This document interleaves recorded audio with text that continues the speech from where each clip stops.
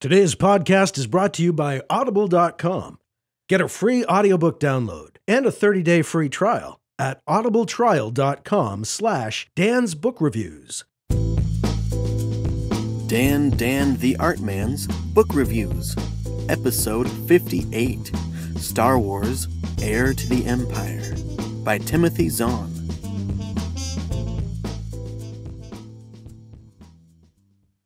This novel is book one in the Thrawn trilogy and part of the expanded Star Wars universe. Part of the reason I decided to read this book is the fact that the new Star Wars movie, Episode 7, is coming out next year, thanks to Disney buying Lucasfilm. You can tell I wrote this a while ago. This review is from Wednesday, September 27th, 2014. It made me curious just what happened to the film characters in the novels all this time. Now, when I watch the films, I'll be able to pick up on any little Easter eggs they might throw in for the fans of the Star Wars novelizations that have kept the story going in the absence of movies all these years. It's probably not likely they'll use anything from the novels, as they've said they're only going to use the movies as canon moving forward but I was still really curious. I'm really glad I decided to give this book a read and that I chose to consume it via audiobook. The author, Timothy Zahn, does a tremendous job with some of the most beloved characters known to science fiction fans. Honestly, I was a little hesitant to read this book because I have concrete ideas about who all the Star Wars characters are how they react to situations, the way they talk, the way they interact with others. They all felt very much like the characters I have come to love from the original Star Wars trilogy. Zahn also did a fantastic job developing some new characters that played a major role in this book. Of course, there is the Grand Admiral Thrawn, who the trilogy is named after. Zahn does a remarkable job of having this character come across as a terrifying individual. Someone who is calm and calculating in the face of cataclysmic events. A person with enormous powers of reasoning and deduction. Someone whose determination to see his plans come to fruition is unshakable, no matter what setbacks may occur. Thrawn is a villain I loved to hate, and someone who came off as impressive, incredibly capable, and scary to me. Any story is much better when the bad guy your heroes face is an extremely formidable foe that sends chills down your spine. A person you would never want to meet in real life, even if you were on their side. I really enjoyed the character development of Grand Admiral Thrawn in this book, and I look forward to seeing him in action again when I read the next book. Another great character was a man named Talon Karrde. You hear rumors about him for a while before you meet him. Before he appears in a scene, you have a sort of reverence for him, and his reputation precedes him. When you get to see him in action, he lives up to all the hype. I loved Karrde's interaction with some of my favorite characters. All the favorites are in this book. R2-D2, C-3PO, Leia, Han, Lando Calrissian, Luke, Wedge Antilles, Admiral Ackbar, and of course, Chewbacca, whose homeworld you get to visit. Sorry about that, I couldn't resist. The courage and bravery of the good guys in this book was exciting to read. There were a lot of slow scenes where big parts were moving, and a lot of exhilarating action scenes. The book has a lot. I can think of intimate scenes where you get to see what it's like for Luke and Leia to use the Force, where quiet scenes between characters where not much is happening, but a lot is going on emotionally and internally. This novel had to be done this well because it handles some of the most loved characters of all time in a universe that fans around the world are crazy about. Timothy Zahn more than pulled it off. I'm so excited there are two more books. And that I will get to watch new Star Wars movies in the theaters with my kids. Woohoo! Sorry, that was nothing to do with this book. I'm just excited. Last but not least, I can't end this review without touching on how fantastic the audiobook version is. I listened to the 20th anniversary edition, narrated by Marc Thompson. Marc's ability to voice all the characters so well was nothing short of brilliant. The guy does all the voices spot on, and there are a lot of characters in this book.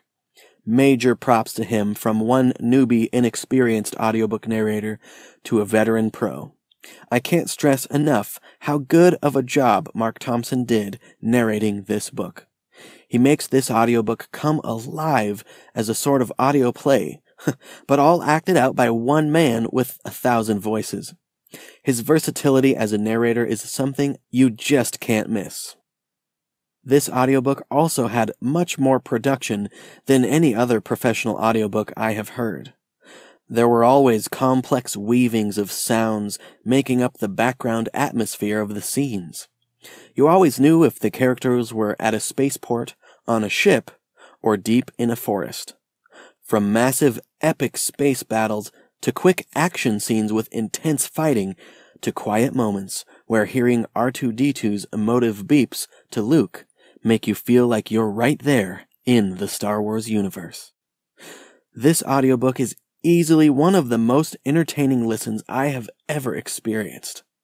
I can't wait to get the next book in the Thrawn trilogy. Fantastic. I have some great news for you guys, the listeners of this podcast, which is sponsored by Audible. And because of that, you can get a free audiobook. I would highly recommend Star Wars Heir to the Empire, the first in the Thrawn trilogy, narrated by Marc Thompson and written by Timothy Zahn. You just heard me tell you how fun and entertaining it was to listen to, and now you can go get it for free. Now you can get any audiobook of your choice if you go to audibletrial.com slash Dan's Book Reviews. You get one free audiobook and a 30-day free trial of their membership. And you can choose any audiobook, and they pretty much have them all there. But I highly recommend this one. So check it out. Heir to the Empire, narrated by Marc Thompson. Fantastic audiobook. Really well written book by Timothy Zahn audibletrial.com slash Dan's Book Reviews. And when you go there and get a free audiobook and start a free 30-day trial, you're helping support the show. So thanks to you, and thanks to Audible. Now, let's get back to that review.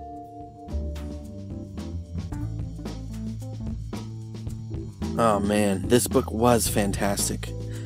Check this book out. Uh, even if you grab it in ebook or paperback, it's a fantastic read, but Seriously, even if you're not really a fan of audiobooks, you should really check this out. Uh, one of my friends, he's trying to get into audiobooks, and he commented that it was a little hard for him to listen because just one voice narrating a book seemed a little kind of dry to him.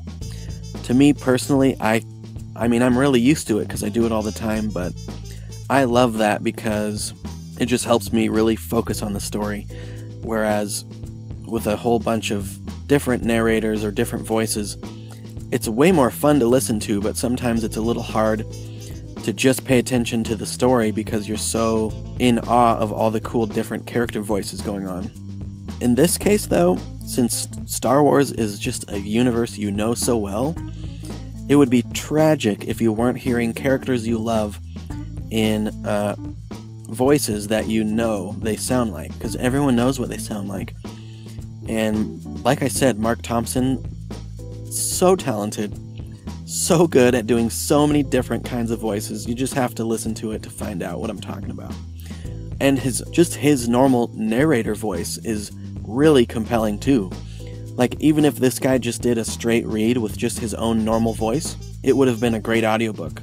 But he goes way above and beyond by just throwing in a different voice, just entirely different for each character and it was fantastic. I loved it. I had so much fun listening to it. I really need to go get that second book. It's a little hard because they're not canon anymore, so they're not official Star Wars with all the new movies coming out. But uh, anyway, Lost Stars by Claudia Gray. I'll be reviewing that sometime. That was a Star Wars book that's newer, that is canon, and was fantastic. It's kind of a young adult, but so good. Anyway, that's all I got for you guys. I hope you're having a great year of reading in this. It's just now early March as I record this, so yeah. Thank you guys, and I'll see you next time. Mike, take it away. This podcast is licensed under a Creative Commons Attribution, Non Commercial, No Derivative Works license. Music by Kevin MacLeod, found at Incompetech.com. The website that goes with this podcast can be found at dandantheartman.com. And you can follow Dan on Twitter, Google, and Facebook at Dan Dan the Artman. For Dan, this is Mike Luoma saying happy reading, and we'll see you next time.